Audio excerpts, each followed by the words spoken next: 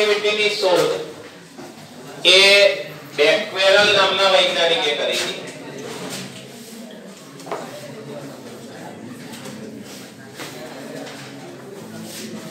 Radio એક્ટિવિટીની શોધ એ બેક્વેરલ નામના વૈજ્ઞાનિકે કરી હતી. આકસ્મિક રીતે શોધ થઈ.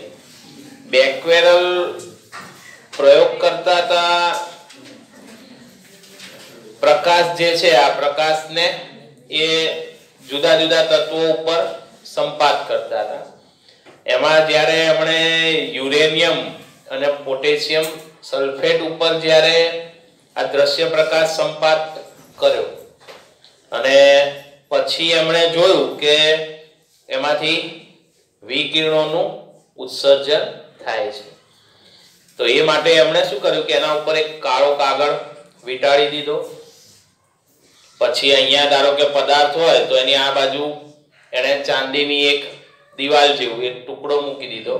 અને એના પછી ફોટોગ્રાફિક પ્લેટ પણ જ્યારે ફોટોગ્રાફિક પ્લેટ ડેવલપ કરી ફોટોગ્રાફિક પ્લેટ એટલે પહેલા કેમેરામાં તમે જો પેલા ફોટો રોલ આવતા. કેમેરા રોલ વાળા આવતા, એ ફોટોગ્રાફિક પ્લેટ કહેવાય. એને ડેવલપ કરો તો જ એના ઉપરથી ફોટો જોઈ શકાય. બરાબર? તો એ રીતે જ્યારે ફોટોગ્રાફિક પ્લેટ ડેવલપ કરી અને એનો ફોટો જોયો તો એમાં કાળાશ દેખાય અને એના ઉપરથી એમણે અનુમાન કર્યું કે ભાઈ તો પછી આ જે પદાર્થ ઉપર દ્રશ્ય પ્રકાશ આપાત કર્યો યુરેનિયમ ઉપર, ત્યારે એમાંથી કોઈક વિકિરણોનું ઉત્સર્જન થતું હોવું જોઈએ. બરાબર? અને એ ઘટનાને કહેવાય રેડિયો એક્ટિવિટી. અને જેમાંથી આવા વિકિરણોનું ઉત્સર્જન થાય, એને રેડિયો એક્ટિવ તત્વ કહેવાય કે રેડિયો એક્ટિવ પદાર્થ કહેવાય. બરાબર? રેડિયો એક્ટિવિટી બે પ્રકારમાં જોવા મળે. એક તો અમુક તત્વો એવા છે કે કુદરતી જ પોતાનામાંથી વિકિરણોનું ઉત્સર્જન કરશે. અને અમુક એવા છે કે એમાંથી તમે ઉત્સર્જન કરાવી શકો. એટલે કુદરતી રેડિયો એક્ટિવિટી અને બીજો પ્રકાર પડાય કૃત્રિમ રેડિયો એક્ટિવિટી બરાબર? રેડિયો એક્ટિવિટી કુદરતી કેવી રીતે શક્ય બને? તો કારણ એનું એ છે કે યુરેનિયમ, યુરેનિયમનું ન્યુક્લિયસ, તો એ બાણું યુરેનિયમ બસો આડત્રીસ. એટલે બહુ ભારે ન્યુક્લિયસ છે. બરાબર? અતિ ભારે હોવાથી એ કુદરતી રીતે જ અસ્થાયી હોય છે. ન્યુક્લિયસ કુદરતી રીતે જ અસ્થાયી હોય છે. માટે એ સ્થાયીપણું પ્રાપ્ત કરવા માટે શું કરે છે? પોતાનામાંથી વિકિરણોનું ઉત્સર્જન. અને એ સ્થાયીપણું પ્રાપ્ત કરવા માટે એનું વિભંજન થઈ રાખે. અને એમાંથી જુદા જુદા કણો વાળા વિકિરણોનું ઉત્સર્જન થાય. તો જે ન્યુક્લિયસમાંથી આવા વિકિરણોનું ઉત્સર્જન થાય, એનું વિભંજન થાય, તો એને એનો ક્ષય થયો કહેવાય. એ ન્યુક્લિયસનું શું થયું કહેવાય? ક્ષય. એને રેડિયો એક્ટિવ ક્ષય કહેવાય. અંડરલાઈન કરો. રેડિયો એક્ટિવિટીમાં શું થશે? તો જે ન્યુક્લિયસ હોય, એનું વિભંજન થાય. એમાંથી રેડિયો એક્ટિવ વિકિરણોનું ઉત્સર્જન થાય. તો એ ન્યુક્લિયસનું શું થયું કહેવાય? તો એનો રેડિયો એક્ટિવ ક્ષય થયું કહેવાય.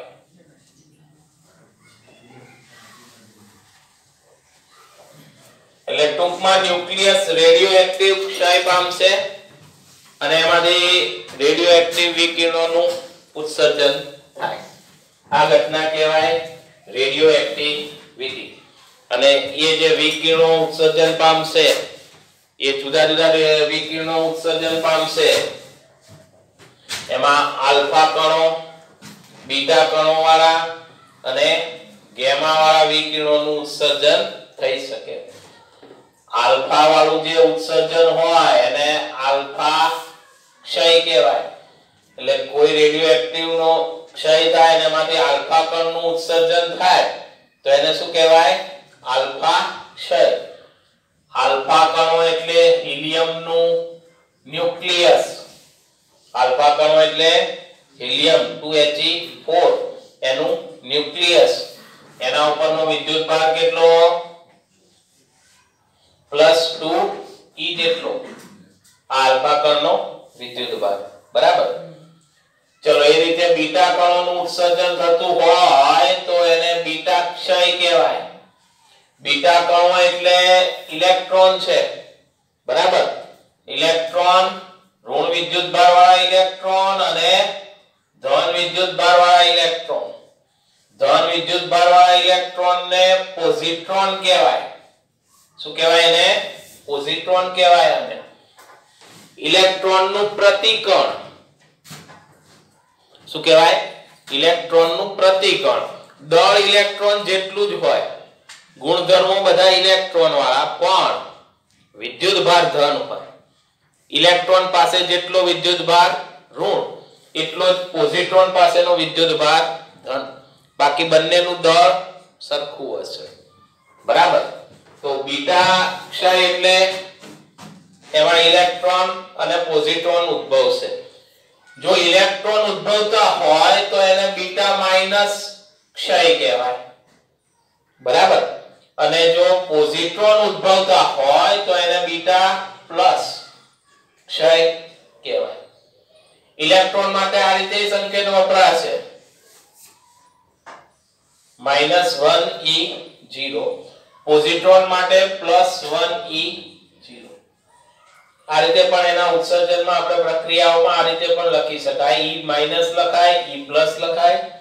બીટા માઇનસ બીટા પ્લસ અથવા minus one e zero plus one e zero સમજાયું? તો આ બીટા ક્ષય. એના પછી ત્રીજા પ્રકારનું ક્ષય. ગેમા ક્ષય છે. ગેમા વિકિરણ ફોટોનનું બનેલું હોય છે. એટલે ગેમા ક્ષય થાય તો એમાં ફોટોન વાળું વિકિરણનું ઉત્સર્જન થાય. ફોટોન વિદ્યુતની દ્રષ્ટિએ તટસ્થ. એટલે ગેમા વિકિરણ આપણે કયું ગણવાનું? તટસ્થ વિકિરણ ગણાશે. જેમાં ફોટોનનું ઉત્સર્જન થાય. એટલે ફોટોન વાળું બધું ગેમા વિકિરણોને લાગુ પડશે. સમજાયું? તો રેડિયો એક્ટિવ ક્ષય ત્રણ પ્રકારના. આલ્ફા ક્ષય, બીટા ક્ષય અને ગેમા ક્ષય. સમજાયું? રેડિયો એક્ટિવિટી એ ન્યુક્લિયર ઘટના છે. રેડિયો કેવી ઘટના છે? તો એ ન્યુક્લિયર ઘટના છે. એનું કારણ છે કે એકવાર રેડિયો એક્ટિવિટી ચાલુ થઈ જાય, પછી એના ઉપર દબાણ, તાપમાન, વિદ્યુત ક્ષેત્ર, ચુંબકીય ક્ષેત્રની કોઈ અસર થતી એને અટકાવી શકાતી નથી. જ્યાં સુધી એ તત્વ વિભંજન પામીને પૂરેપૂરું ક્ષય ના પામે, ત્યાં સુધી તમે રેડિયો એક્ટિવિટીને અટકાવી શકો નહીં. એ કુદરતી ચાલુ ચાલુ જ રહેશે. બીજું, બીજો મુદ્દો, કે એનું તમે બીજા કોઈ તત્વ સાથે સંયોજન કરો, તો બી એનો ઉત્સર્જનના દરમાં કોઈ ફેરફાર થાય કોઈ રેડિયો એક્ટિવ તત્વ છે, એની રેડિયો એક્ટિવિટી ચાલુ છે, એને તમે બીજા જોડે એને સંયોજિત કરી નાખો. તો એની એક્ટિવિટીમાં કોઈ ફેરફાર થવાનો એ દર્શાવે છે કે રેડિયો એક્ટિવિટી કેવી ઘટના છે? ન્યુક્લિયર ઘટના છે. સમજાશે? બરાબર?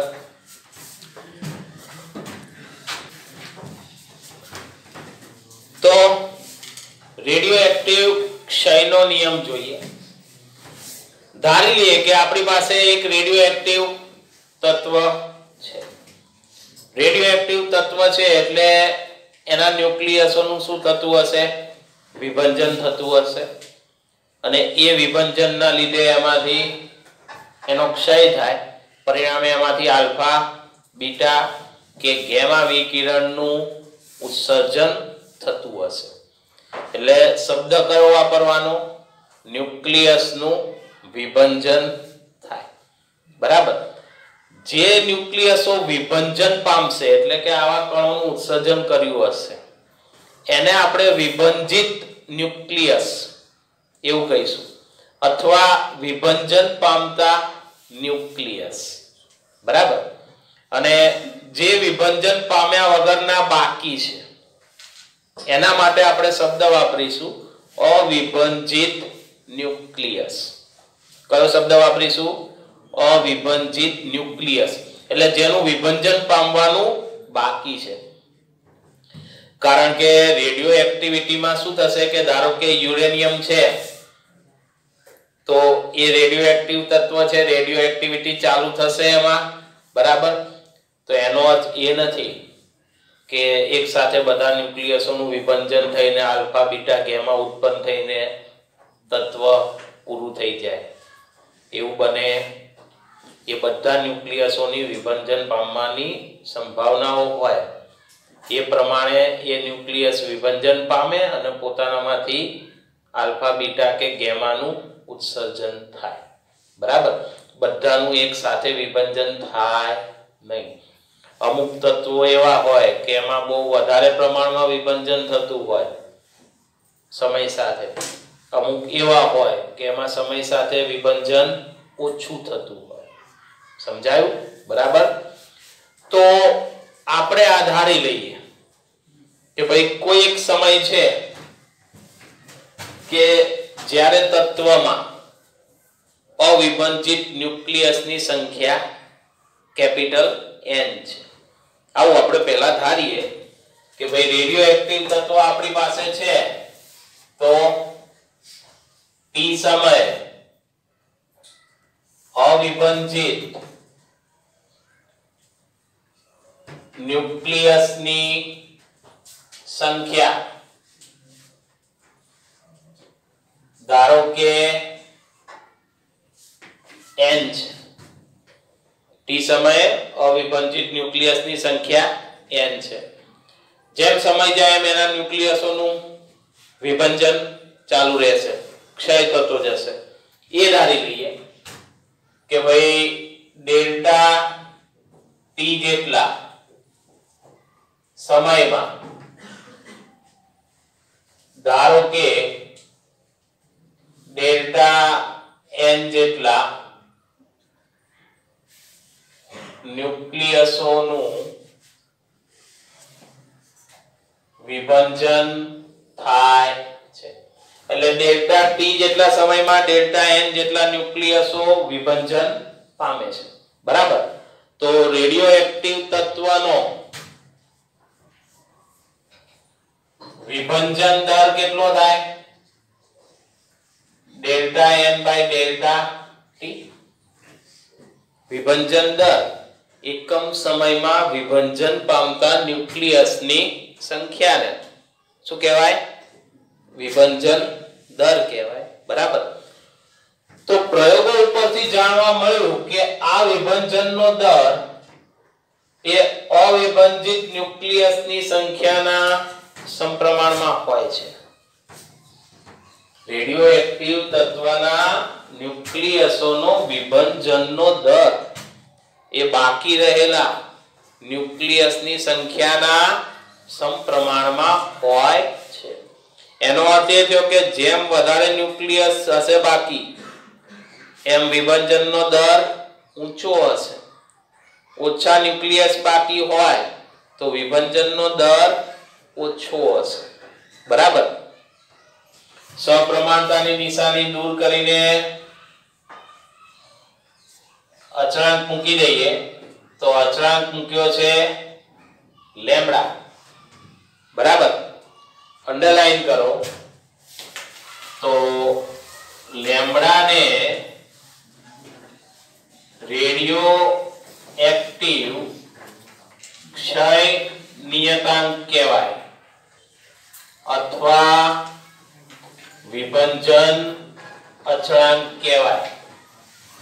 લેમડા રેડિયો એક્ટિવ ક્ષય નિયતાંક અથવા વિભંજન અચળાંક કહેવાય. એ તત્વના પ્રકાર ઉપર આધાર રાખે. દરેક તત્વ માટે લેમડા કેવો હોઈ શકે? જુદો જુદો હોઈ શકે. પણ લેમડાનું મૂલ્ય પણ રેડિયો એક્ટિવિટીની જેમ જ તાપમાન, દબાણ વિદ્યુત ક્ષેત્ર કે ચુંબકીય ક્ષેત્ર ઉપર આધારિત નથી. બરાબર? લખી નાખો. રેડિયો એક્ટિવ ક્ષયતા તાપમાન, દબાણ, વિદ્યુત ક્ષેત્ર કે ચુંબકીય ક્ષેત્ર જેવા પરિબળો તેના પર અસર કરતા નથી.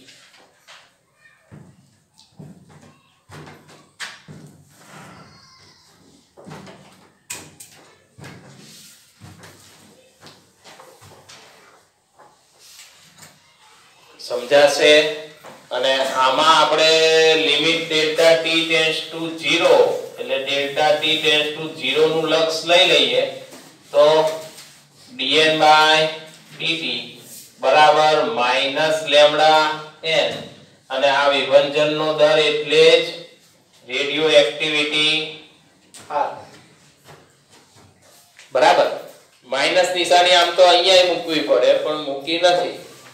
કેમ માઇનસ નિશાની આવી? તો માઇનસ નિશાની આ n ના લીધે આવે છે.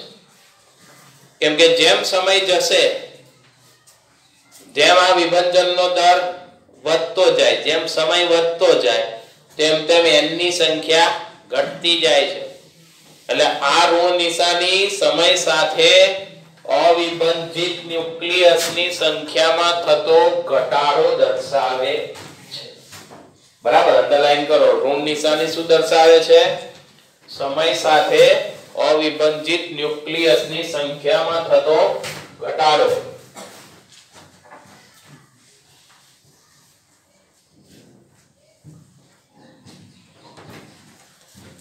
તો અહીંયા સુધી બી આપણને પૂછાઈ શકે કે ભાઈ રેડિયો એક્ટિવિટી માટે વિભંજનનો દર અથવા રેડિયો એક્ટિવિટી આર બરાબર માઇનસ લેમડા એન સૂત્ર મેળવો. રેડિયો એક્ટિવિટીનો એકમ. તો રેડિયો એક્ટિવિટી એટલે dn dt dn dt એટલે વિભંજન પ્રતિ સેકન્ડ. ડેલ્ટા n વિભંજન પામતા ન્યુક્લિયસની સંખ્યા છે. ડેલ્ટા t સમયગાળો છે. તો રેડિયો એક્ટિવિટી શેમાં દર્શાવાય? તો રેડિયો એક્ટિવિટી એ વિભંજન પ્રતિ સેકન્ડમાં માપવામાં આવશે. બરાબર? પણ રેડિયો એક્ટિવિટી શોધનાર વૈજ્ઞાનિક બેકવેરલ તો બેકવેરલના માનમાં એક વિભંજન પ્રતિ સેકન્ડને શું ગણવામાં આવે છે? એક બેકવેરલ BQ બરાબર? એટલે રેડિયો એક્ટિવિટીનો આપણે એકમ કયો ગણીશું? બેકવેરલ ગણીશું. એક બેકવેરલ બરાબર એક વિભંજન પ્રતિ સેકન્ડ. તો એની વ્યાખ્યા આપવી હોય તો? તો જે પદાર્થમાં, અથવા એવું લખાય કે જે રેડિયો એક્ટિવ તત્વમાં દર સેકન્ડે એક વિભંજન થતું હોય, તેની એક્ટિવિટી એક બેકવેરલ છે તેમ કહેવાય. બરાબર? જે રેડિયો એક્ટિવ તત્વમાં દર સેકન્ડે એક વિભંજન થતું હોય. તે તત્વની રેડિયો એક્ટિવિટી એક બેક્વેરલ છે તેમ કહેવાય. બરાબર? તો આ બેક્વેરલની વ્યાખ્યા. બરાબર? બીજા વૈજ્ઞાનિક હતા મેડમ ક્યુરી. આપણે ફિઝિક્સમાં એવા એક માત્ર આ વૈજ્ઞાનિક છે કે જેમને બે વખત નોબેલ પ્રાઇઝ મળ્યું છે. બાકી ઘણા મહાન વૈજ્ઞાનિકો છે આઈન્સ્ટાઈન ને બધા કોઈને બે વખત નોબેલ પ્રાઇઝ મળ્યું નથી. કેમ કે આજે મેડમ ક્યુરી હતા, એ ફિઝિસિસ્ટ તો હતા જ, પણ સાથે સાથે રસાયણ શાસ્ત્રી હતા. એટલે એને બંનેમાં નોબેલ પ્રાઇઝ મળેલું છે. કેમેસ્ટ્રીનું બી અને ફિઝિક્સનું. બરાબર? તો એમના માનમાં એમના માનમાં પણ રેડિયો એક્ટિવિટીનો એકમ રાખવામાં આવશે. એને ક્યુરી કહેવાય. એનો સંકેત સી આઈ એક ક્યુરી બરાબર. અંડરલાઈન કરો આ પણ. 3.7 into 10 raised to 10 વિભંજન પ્રતિ સેકન્ડ થશે. એક ક્યુરી બરાબર 3.7 ઇન્ટુ 10 રેસ ટુ 10 વિભંજન પ્રતિ સેકન્ડ અને તમે ધારો તો એના બદલે મૂકી દો બેકવેરલ એક ક્યુરી બરાબર આટલા બેકવેરલ થાય તો બી ચાલે ને. એક ક્યુરી બરાબર 3.7 ઇન્ટુ 10 રેસ ટુ 10 બેકવેરલ પણ લખાય. અથવા વિભંજન પ્રતિ સેકન્ડ પણ લખાય. તો ક્યુરી એકમની વ્યાખ્યા કેવી રીતે બનાવીશું? તો જે રેડિયો એક્ટિવ તત્વમાં દર સેકન્ડે 3.7 ઇન્ટુ 10 રેસ ટુ 10 વિભંજન થતા હોય, તે તત્વની રેડિયો એક્ટિવિટી એક ક્યુરી છે તેમ કહેવાય. સમજાયું? તો એક ક્યુરીની વ્યાખ્યા આ રીતે અપાશે. જે રેડિયો એક્ટિવ તત્વમાં દર સેકન્ડે 3.7 into 10 raised to 10 વિભંજન થતા હોય. તે રેડિયો એક્ટિવ તત્વની રેડિયો એક્ટિવિટી એક ક્યુરી છે તેમ કહેવાય. બરાબર? સમજાયું? તો આપણે થિયરી આ પહેલી જે છે અહીંયા સુધી લંબાવી શકાય. આ બે વ્યાખ્યાઓ આની અંદર મૂકી શકાય. હવે ત્યાર પછી પાછું આગળ ચાલુ કરીએ, કેમ કે આપણે ચર ઘાતાંકીય નિયમ મેળવવાનો છે. ચર ઘાતાંકીય નિયમ મેળવવા માટે આ સૂત્ર લઈએ. dn dt બરાબર માઇનસ લેમ્બડા n છે. એમાં n ને આ બાજુ લાવો, dt ને સમીકરણમાં આ બાજુ મૂકીએ. તો આપણું સમીકરણ થઈ જાય dn n બરાબર માઇનસ લેમ્બડા dt. બનશે આવું? બરાબર ને? તો આ જે સમીકરણ મળ્યું, એનું આપણે સંકલન કરીએ.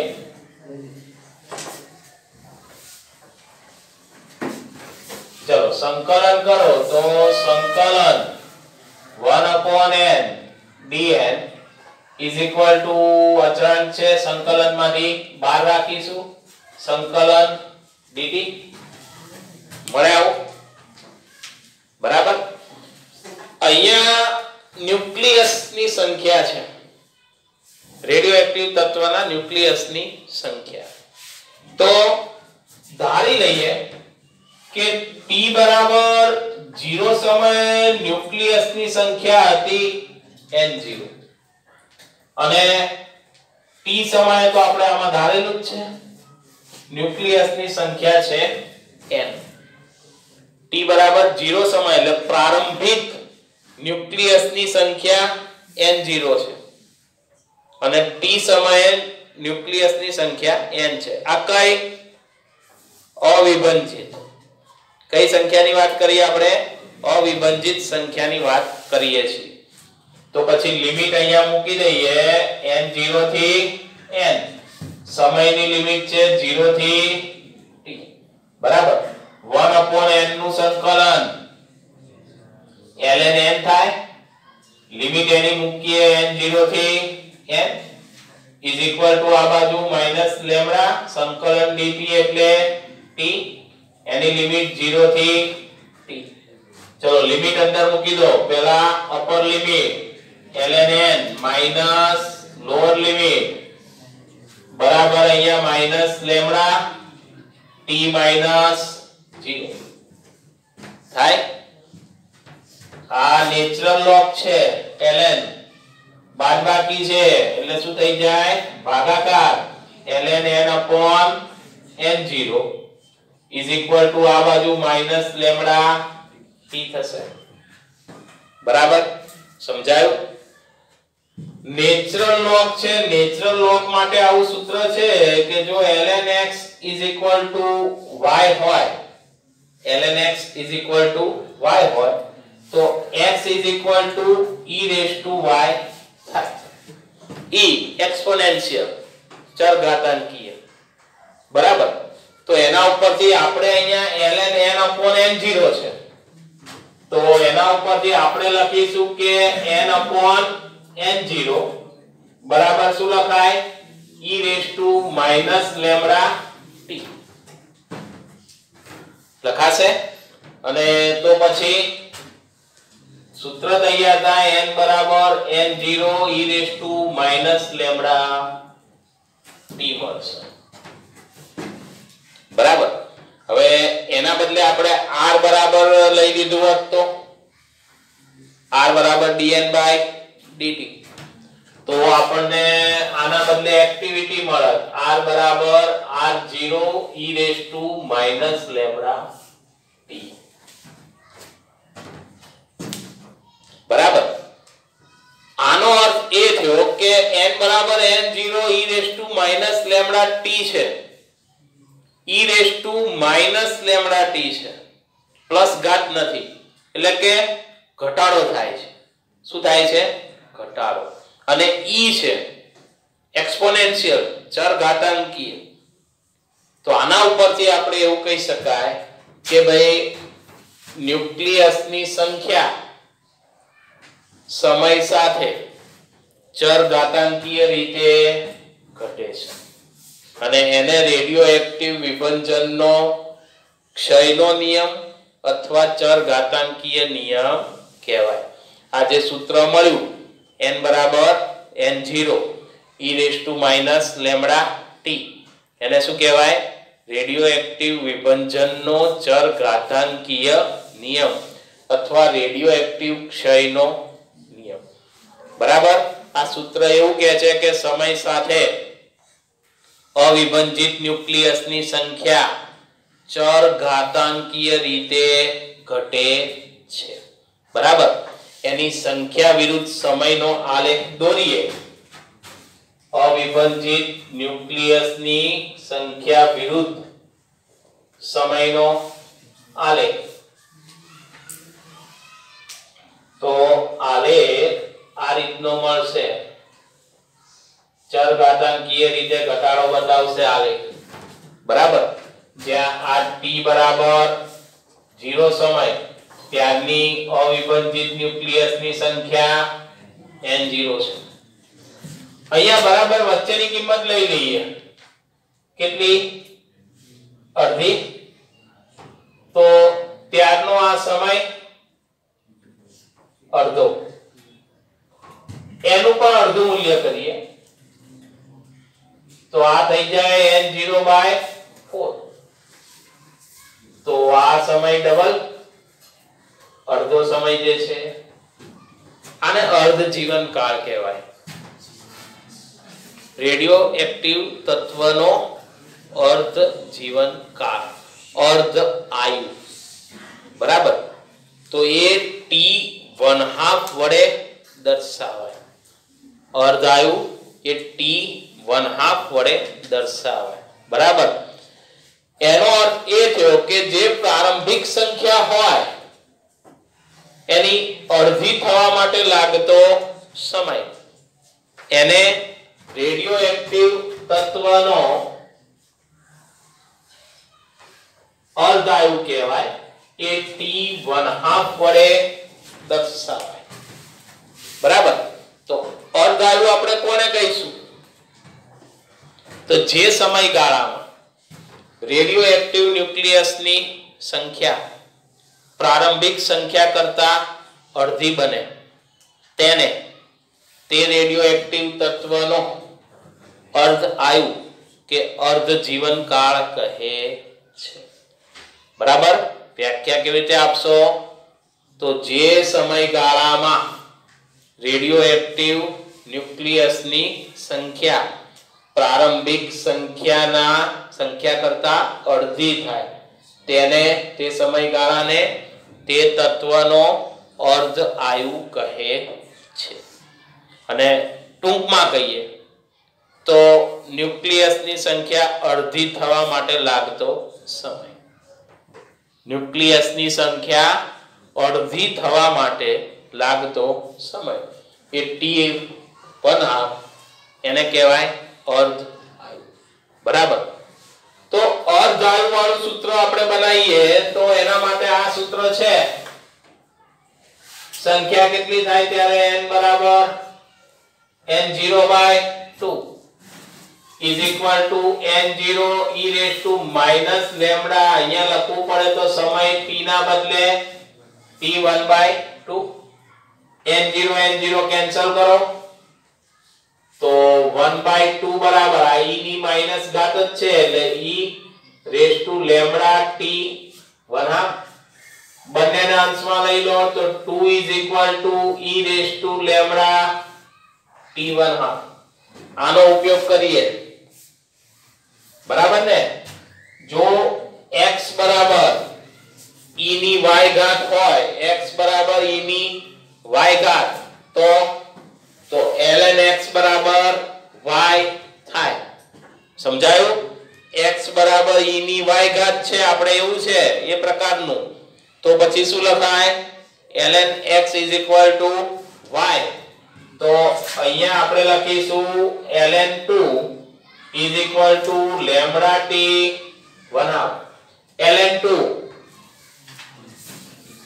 e base વાળો લોગ છે. તો 2.303 કરો, ગુણો, તો આ 10 બેઝ વાળો લોગ થઈ જાય. Is equal to lambda t.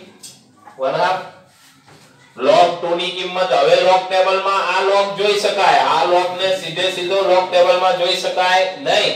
કેમ કે આ e બેઝ વાળો log છે. આ ln2 છે. એટલે એ હકીકતમાં log e2 છે. આ રીતે કરો. અને આપણું લોક ટેબલ 10 બેઝ વાળું છે 10 ના આધાર વાળું તો આ log 2 ની કિંમત 0.3010 તો ગુણ્યા 0.3010 બરાબર લેમ્ડા t 1 બાય 2 તો એના ઉપરથી t 1 બાય 2 લેમ્ડા આના છેદમાં આવે. આ ગુણાકાર યાદ રાખવાનો, કેમ કે ઘણી જગ્યાએ કામમાં આવશે. 0.693 અપોન લેમ્ડા. તો આ તત્વનો અર્ધ આયુ બરાબર? અર્ધ જીવન કાળ. એનો અર્થ એ થાય કે કોઈ તત્વ આટલા સમયમાં અડધું થઈ જશે. ધારો કે એક રેડિયો એક્ટિવ તત્વ છે. એની પાસે ટી બરાબર ઝીરો સમયે અવિભંજિત ન્યુક્લિયસ સો છે. એટલે એન ઝીરો બરાબર સો. બરાબર? અને એનો અર્ધાયુ ધારો કે પાંચ વર્ષ છે. એનો અર્ધાયુ કેટલો છે? પાંચ વર્ષ તો એ રેડિયો એક્ટિવ તત્વ પૂરેપૂરું ક્ષય કેટલા વર્ષમાં પામે? પાંચ વર્ષ એનો અર્ધાયુ છે. કેટલા વર્ષમાં દસ વર્ષમાં ના પામે. તમે વિચારો એનો અર્ધાયુ પાંચ વર્ષ છે. ન્યુક્લિયસ કેટલા હતા? 100 એટલે પાંચ વર્ષ પછી ન્યુક્લિયસ કેટલા બાકી હોય? અડધા. કેટલા? 50 50 ન્યુક્લિયસ હતા, પાછા પાંચ વર્ષ જવા દો. 50 ના અડધા થાય. એટલે દસ વર્ષે તો 25 ન્યુક્લિયસ બાકી હોય. એના પાછા પાંચ વર્ષ જવા દો. 12.5 બાકી હોય. એટલે બહુ લાંબો સમય લાગે. એટલે અર્ધાયુ તો એનો અર્થ એ નહીં કે અર્ધાયુને બે વડે ગુણો એટલે તત્વ પૂરું થઈ જાય. આ રહ્યું આપણે અહીંયા આપ્યું છે ને, જો n0/2t n0/4 તો આ તો આ જ રાખશે. પછી તમે અહીંયાથી લખો, કેટલું?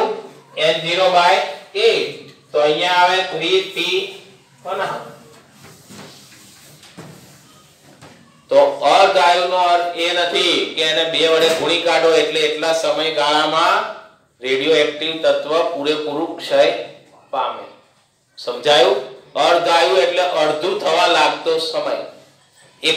જેટલું બાકી હોય એના માટે. તો એ દરેક વખતે જેટલું બાકી હોય એનું અડધું અડધું થઈ રાખશે એ સમયગાળો એટલે અર્ધ આયુ બરાબર? તો એના માટે એક સૂત્ર બનાવીએ સ્ટોપ જ કરજે ખાલી હજી આનું તો આનો અર્થ એ થાય કે જો n0/2 જેટલું થવા માટે લાગતો સમય t1 હા, તો આપણે આ જે આલેખ છે એના ઉપરથી આવું લખી શકીએ, જો કે સમય t બરાબર એક લખીએ, એક ગુણ્યા t1 હાફ હોય ત્યારે તત્વ n બરાબર કેટલું થાય? n 0 બાય 2 બરાબર? પછી સમય t બરાબર 2t 1 બાય 2 તો તત્વ કેટલું બાકી રહેશે? n 0 બાય 4 પછી આપણે લખીએ કે સમય t બરાબર 3t1 બાય 2 તો તત્વ કેટલું બાકી રહે? n 0 બાય 8 સમજાયું? તો આના ઉપરથી આપણે આવું એક સામાન્ય સૂત્ર બનાવીએ કે t બરાબર n ઇન્ટુ t1 બાય 2 તો સામે અહીંયા આ n0 ને બાજુ લાવો. n upon n0 બરાબર. 1 upon તમે જો અહીંયા 2 2 નો વર્ગ. 1 1 ઘાત 2 2 ની 2 ઘાત 3 2 ની 3 ઘાત. તો 2 રેસ ટુ n. તો એક આવું વ્યાપક સામાન્ય સૂત્ર આના ઉપરથી બનાવી રાખવાનું. એ આપણને એમસીક્યુ દાખલાઓમાં કામમાં આવશે કે t બરાબર n t1 by 2 is equal to શું લખાય? તો ત્યારે n upon n0 બરાબર 1 by 2 raised to n સમજાયું? અને આના એમસીક્યુ માં તમને સમય આપી દેશે અર્ધાયુ આપી દેશે, n શોધવાનો કહેશે એવા એમસીક્યુ બી હશે. બરાબર? કે કેટલા સમયમાં તત્વનો ક્ષય થાય કે કેટલું બાકી રહેશે? એ રીતે આમાંથી બી કોઈ બી કિંમત શોધવાની કહેશે તમને. બરાબર? તો એ આ તમારું વ્યાપક સૂત્ર આપણે આવું બનાવીએ, તો એના પરથી આવા એમસીક્યુ દાખલાઓ ગણી શકાય. બરાબર? ચલો, હવે ત્યાર પછી તત્વનો સરેરાશ જીવનકાળ જોઈએ. સરેરાશ જીવનકાળ ટાવ વડે દર્શાવાય. શેના વડે? ટાવ. સરેરાશ જીવનકાળ એટલે એમ નહીં સમજવાનું કે આખું તત્વ પૂરું થઈ જાય ત્યાં તે માટે લાગતો સમય. ન્યુક્લિયસની સંખ્યા પ્રારંભિક સંખ્યાના ઈમા ભાગની થવા લાગતા સમયને. ઈમા ભાગની થવા લાગતો સમય. અંડરલાઈન કરો, એને શું કહેવાય? સરેરાશ જીવનકાળ. જ્યાં ઈની કિંમત કઈ છે? બે પોઈન્ટ સાતસો અઢાર તો વ્યાખ્યા સરેરાશ જીવનકાળની આ રીતે અપાય કે જે સમયગાળામાં ન્યુક્લિયસની સંખ્યા પ્રારંભિક સંખ્યાના ઈમા ભાગની થાય. કઈ પ્રારંભિક સંખ્યાના ઈમા ભાગની થાય? તે સમયગાળાને તે તત્વનો સરેરાશ જીવનકાળ કહે છે. સમજાયું? તો આ સરેરાશ જીવનકાળ એટલે ન્યુક્લિયસની સંખ્યા ઈમા ભાગની થવા લાગતો સમય. એનો અર્થ એ થાય કે ન્યુક્લિયસની સંખ્યા n બરાબર n0 બાય e. ત્યારે તમે સમય t બરાબર કેટલો ગણવાનો? tau તો આપણું રેડિયો એક્ટિવ વિભાજનનો ચર ઘાતાંકીય નિયમમાં કિંમત મૂકીએ. N ના બદલે n0 by e. N0 e raised to minus lambda t ના બદલે tau મૂકી દઈએ.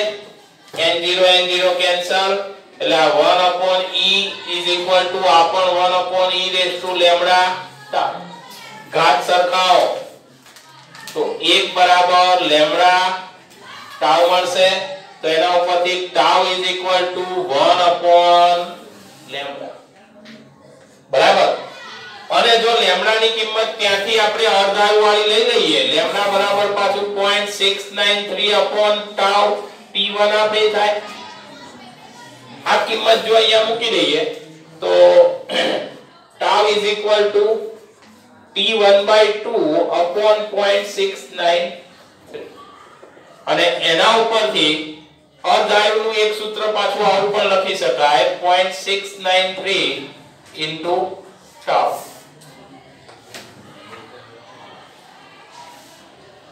તો આ જે સૂત્રો થયા, આ બે, એ અર્ધાયુ અને સરેરાશ જીવનકાળ વચ્ચેનો સંબંધ દર્શાવતા સૂત્રો છે. આ બંને અર્ધાયુ અને સરેરાશ જીવનકાળ વચ્ચેનો સંબંધ દર્શાવતા સૂત્રો છે. કેમ કે આપણને દાખલામાં એમસીક્યુ માં મોટે ભાગે અર્ધાયુ જ આપે. તમને શું આપશે? અર્ધાયુની જ કિંમત આપેલી હોય. બરાબર? અને એના ઉપરથી આપણે લેમડા મેળવવાનો હોય, એના ઉપરથી આપણે આ પણ આવે. સરેરાશ જીવનકાળ પણ મેળવવાનું આવે. સમજાયું? બરાબર? તો આ રેડિયો એક્ટિવિટી